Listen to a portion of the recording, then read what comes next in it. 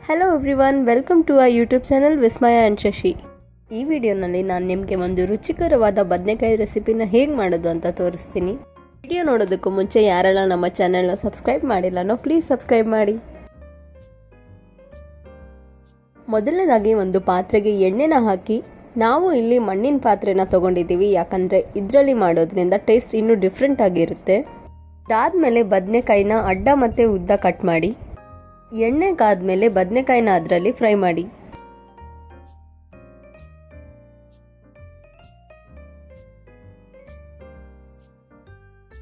ನೀವಿಲ್ಲಿ ನೋಡ್ತಿರ್ಬೋದು ಬದನೆಕಾಯಿ ಇದೇ ರೀತಿ ಚೆನ್ನಾಗಿ ಫ್ರೈ ಆಗಿರಬೇಕು.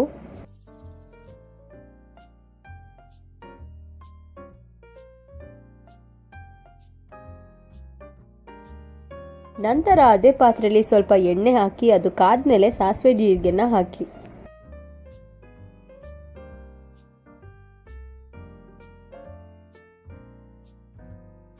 ಸಾಸಿವೆ ಜೀರಿಗೆ ಎಲ್ಲ ಚಟಪಟ ಅಂದಮೇಲೆ ಸಣ್ಣದಾಗಿ ಕಟ್ ಮಾಡ್ಕೊಂಡಿರೋ ಈರುಳ್ಳಿನ ಹಾಕಿ.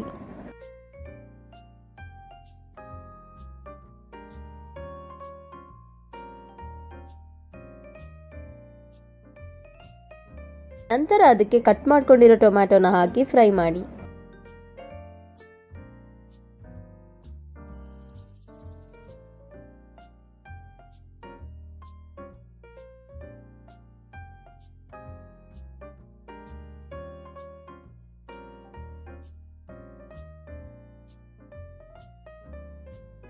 ಒಂದು ಪ್ಲೇಟ್ನಲ್ಲಿ ಉಪ್ಪು, ಖಾರ, ಅರಿಶಿಣ, ಕೊಬ್ಬರಿ ಪುಡಿ, ಗುರೆಳ್ಳು ಪುಡಿ, ಶೇಂಗಾ ಪುಡಿ ಹಾಗೂ ಬೆಲ್ಲನ ತೆಗೆದಿಟ್ಕೊಳ್ಳಿ.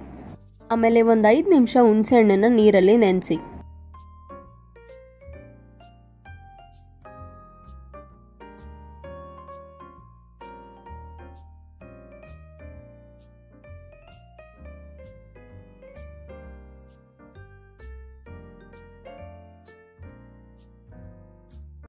ನಾವು ಪ್ಲೇಟ್ನಲ್ಲಿ ತೆಗೆದಿಟ್ಕೊಂಡಿರೋ ಎಲ್ಲ ಇಂಗ್ರೀಡಿಯೆಂಟ್ಸ್ಗೆ ಸ್ವಲ್ಪ ನೀರನ್ನು ಹಾಕಿ ಗಟ್ಟಿಯಾಗಿ ಪೇಸ್ಟ್ ಮಾಡ್ಕೊಳ್ಳಿ ಈ ಪೇಸ್ಟ್ ತುಂಬ ನೀರಾಗಿ ಕೂಡ ಇರಬಾರ್ದು. ನಾವು ತಯಾರಿಸ್ಕೊಂಡಿರೋ ಥಿಕ್ ಪೇಸ್ಟ್ನ ಬದನೆಕಾಯಿ ಒಳಗಡೆ ಸ್ಟಫ್ ಮಾಡಿ.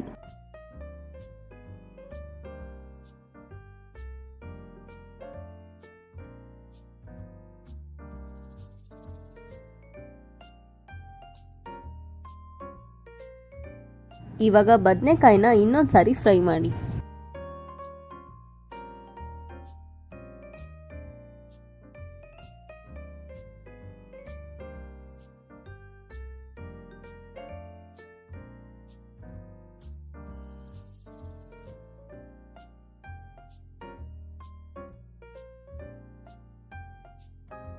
ಬದನೆಕಾಯಿ ಎಲ್ಲ ಚೆನ್ನಾಗಿ ಫ್ರೈ ಮಾಡಿದ್ಮೇಲೆ ಅದಕ್ಕೆ ಸ್ವಲ್ಪ ನೀರನ್ನು ಹಾಕಿ.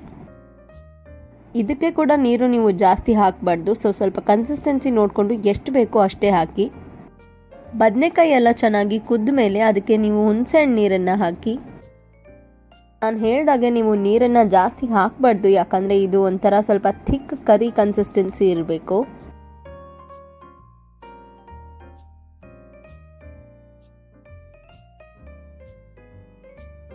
ಹುಣಸೆ ಹಣ್ಣು ನೀರು ಹಾಕಿದ್ಮೇಲೆ ನೀವು ಇದನ್ನು ಜಾಸ್ತಿ ಏನು ಕುದಿಸೋದು ಬೇಡ. ಒಂದು ಐದು ನಿಮಿಷ ಕುದಿಸಿದ್ರೆ ಸಾಕು. ಯಾಕಂದರೆ ನಾವು ಮೊದಲೇ ಬದನೆಕಾಯಿನ ಎಣ್ಣೆಯಲ್ಲಿ ಫ್ರೈ ಮಾಡಿರ್ತೀವಿ. ಒಂದು ಐದು ನಿಮಿಷ ಆದಮೇಲೆ ಕರಿ ಎಣ್ಣೆ ಬಿಡುತ್ತೆ. ಆವಾಗ ನೀವು ಗ್ಯಾಸ್ ಆಫ್ ಮಾಡ್ಬೋದು.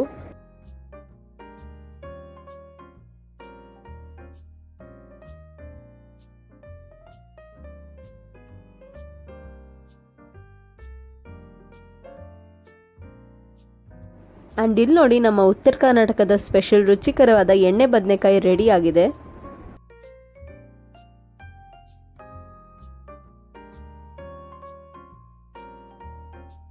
ಇದನ್ನು ನಾವು ಬೆಳಿಗ್ಗೆ ಬ್ರೇಕ್ಫಾಸ್ಟಲ್ಲಿ ರೊಟ್ಟಿ ಜೊತೆ ತಿಂದ್ವಿ. ಈ ವಿಡಿಯೋ ನಮಗೆಲ್ಲ ಇಷ್ಟ ಆಗಿದ್ರೆ ಇದನ್ನು ಲೈಕ್ ಮಾಡಿ ಶೇರ್ ಮಾಡಿ ಹಾಗೂ ನಮ್ಮ ಚಾನಲ್ನ ಸಬ್ಸ್ಕ್ರೈಬ್ ಮಾಡಿ.